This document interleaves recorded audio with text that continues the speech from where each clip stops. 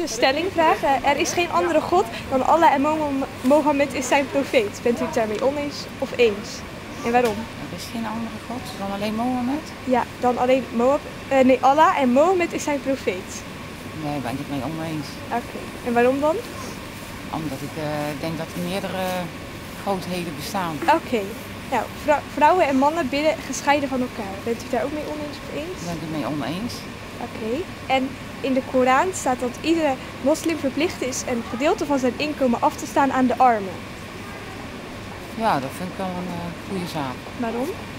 Eh, omdat ja, wij hebben best wel veel en eh, armen hebben minder. Dus Oké. kan meer gedeeld worden, denk ik. Oké. En je mag materieel bezit niet belangrijker vinden dan God.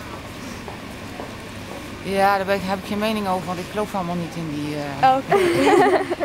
Vindt u het goed dat de mensen die meedoen met de Ramadan vasten van zonsopgang tot zonsondergang?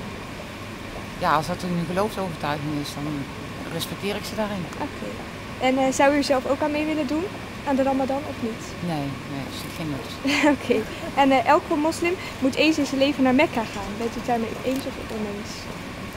Ja, dat vind ik gewoon, dat is hun geloofsovertuiging. Dus als ze daarin geloven, dan eh, moeten ze dat zeer zeker doen. Oké, nou dat waren de Oké, hartstikke bedankt. Bedankt.